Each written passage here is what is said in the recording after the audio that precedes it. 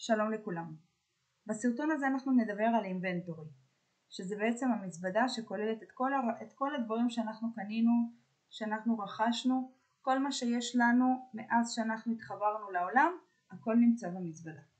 אז קודם כל נפתח אותה ונראה את החלקים שיש אצלה. דבר ראשון, כל הדברים שקיימים אצלנו נמצאים מחולקים לפי קטגוריות בתוך תיקיות שונות. כמו למשל תיקיית האובייקטים כוללת את כל הדברים שאנחנו בעצם בנינו וגם את התיקייה של clothing שזה כל הבגדים שבעצם אנחנו רכשנו אה, במקומות השונים בתוך העולם.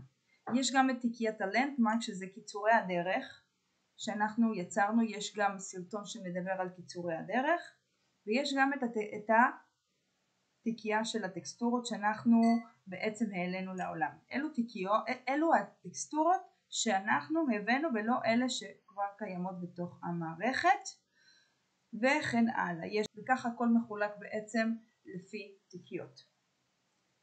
לשונית recent כוללת את כל הדברים החדשים שנוצרו בהתחברות האחרונה.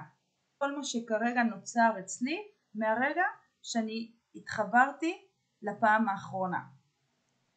בלשונית וורן אנחנו יכולים לראות את כל פרטי הלבוש או אובייקטים שבעצם האבטר אה, לובש כרגע מופיעים בבולד. זאת אומרת הם מודגשים וגם יש לנו פה סימן שכתוב וורן כל מה שהיא לובשת.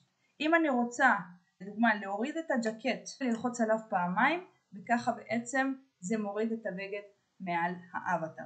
ייתכן שזה לוקח טיפה יותר זמן כי זה לוקח לו קצת עד שהוא טוען את הפקודה.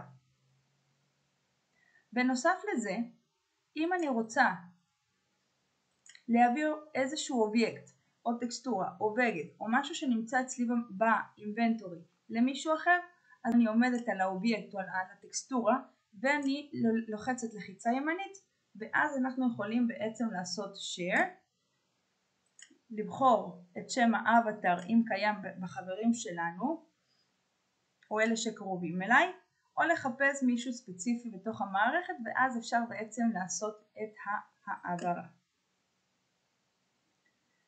זה פחות או יותר מה שיש לנו פה באינבנטורי. אנחנו יכולים לנהל את הקבצים שלנו בצורה מסודרת. תודה רבה.